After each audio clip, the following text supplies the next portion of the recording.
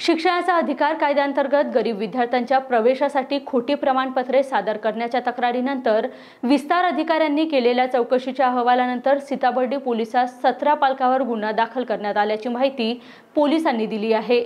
RTE बाबत अशा प्रकारची कारवाई करण्यात आल्याची ही राज्यातील पहिलीच घटना आहे.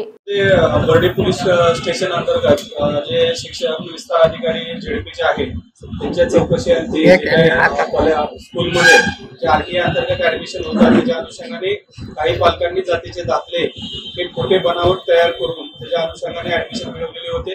त्या पद्धतीने जे भवन स्कूल आहे त्या ठिकाणचे अकरा पालक आहेत त्यांची चौकशी झाल्यानंतर त्या ठिकाणी असं निदर्शनास आले की त्यांनी खोटी कागदपत्र बनाव कागदपत्र अंतर्गत आरटीए अंतर्गत ऍडमिशन झालेले आहे त्याच्या अनुषंगाने झेडपीचे जे विस्तार अधिकारी आहेत त्यांची समिती माननीय सीओ मॅडम यांनी नेमून त्याच्या अंतर्गत चौकशी झाल्यानंतर हा गुन्हा दाखल झालेला आहे.